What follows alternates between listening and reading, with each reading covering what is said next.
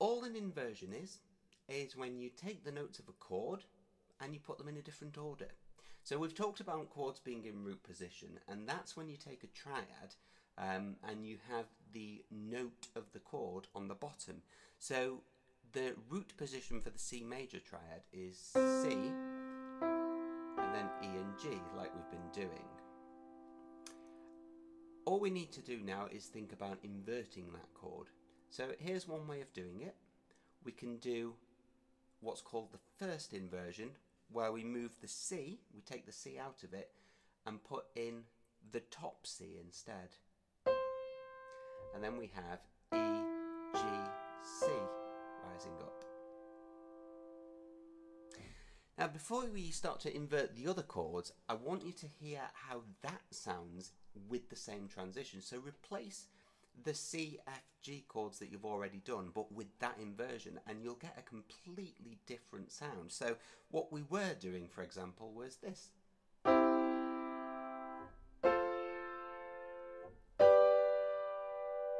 Compare that with this first inversion C.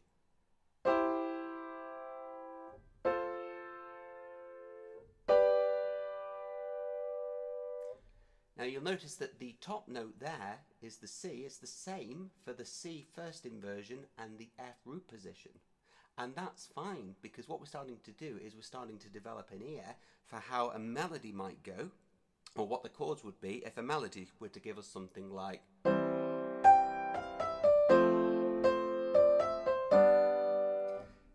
we can sort of hear it now. We can kind of go, ah, that's one to four and in the key of C, C to F. Um, so, so that's a really good exercise to do that, and then just do the other things as well. So we've done the uh, go backwards, five, four, one.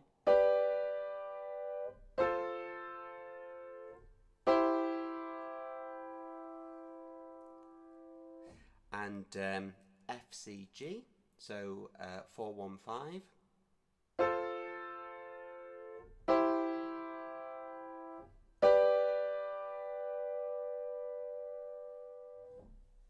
And play around with them. Play around again with the octaves before you start to invert the second chord, which is the F.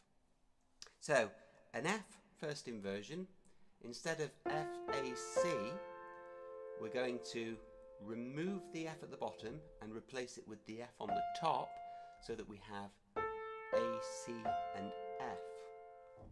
Now, going from first inversion to first inversion C to F, would sound like that. So, notice how different it sounds. Exact same chords, you know, on paper, C and F major, but sound completely different. They sound uh, completely more open in a way.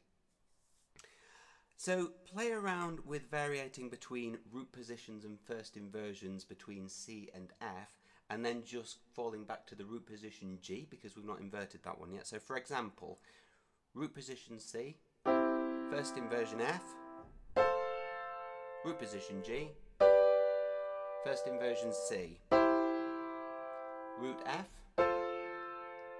root C, and first inversion F, and then C. We'll go, we'll go up why not go up to the C? You know, finish higher. That's root position C. So all that's left now for us to do is to invert or first invert that G. So exactly the same principle again.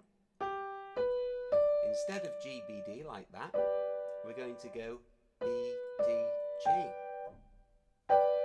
Like that. And now what we'll do is we'll just do, we'll do them all in first inversion. So the same chord structures we've done in the past, but using entirely first inversion. So one, four, five.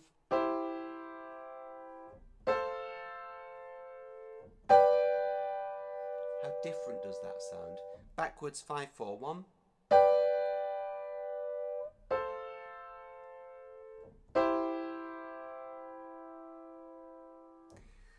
and uh, 415, so FCG.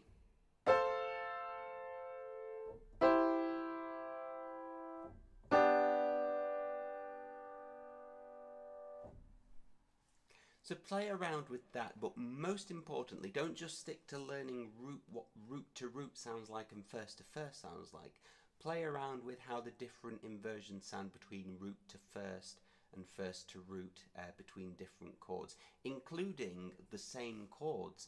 Um, for example, a G root position to a G first inversion in a way almost sounds like you're moving to a different chord, but you're not. You're just changing that bass note.